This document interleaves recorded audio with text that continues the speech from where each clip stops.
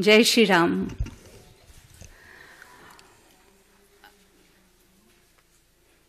मुझे बहुत ही विनम्रता पूर्वक खुशी भी मिल रही है कि मैं आज उन लोगों को ज्वाइन कर रही हूँ, उस गवर्नमेंट को ज्वाइन कर रही हूँ, जिनका सनातन से इतना गहरा नाता है। और जिसे मैं खुद 35 साल से मैंने फ़िल्म इंडस्ट्री को मतलब उसमें गाने के बाद फिर मैंने सिर्फ़ डिवोशनल मैंने गाया है, आप सभी लोग जानते हैं। और कई बार मेरे मन में ऐसे होता था कि जो मैंने किया सही किया, नहीं किया।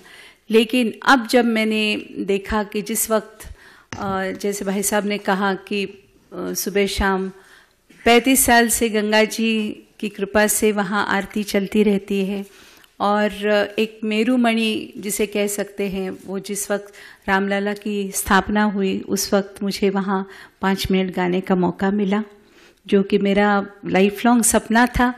तो मुझे ऐसे लगता है कि मैं सही जगह पे हूँ, और ये मेरा परम सौभाग्य है कि आज मैं आप लोगों को ज्वाइन कर रही हूँ। बहुत बहुत धन्यवाद। क्या कहना मुझे बहुत बहुत खुशी है क्योंकि हम, हमारे जो आइडियल्स है वो एक ही हैं। इसलिए ज़्यादा और हमारे जो आइडियल्स है वो एक ही होने की वजह से और भी मुझे अच्छा लग रहा है।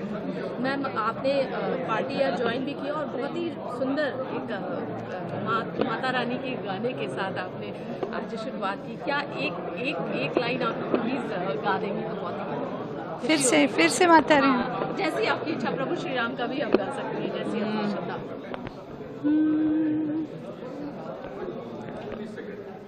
ओ शेरा वाली ओ जोता वाली ओ लाटा वाली तूने मुझे बुलाया शेरा वाली। मैं आया मैं आया। जोता वाली एक एक छोटा सा सवाल लास्ट हाँ क्योंकि चूँकि आप इस समय इलेक्शन का समय है तो आप 2024 में बीजेपी को कहाँ देखते हैं? कैसा महसूस कर रही हैं? कितना जनता बीजेपी को इस बार समर्थन देंगी? और क्या आप इस बार चुनाव में कंटेस्ट करेंगी? ऐसा कुछ देखिए ऐसा है कि मैं मैं खुद भी इस डिवोशनल में अध्यात्म में पिछले 35 साल से हूँ।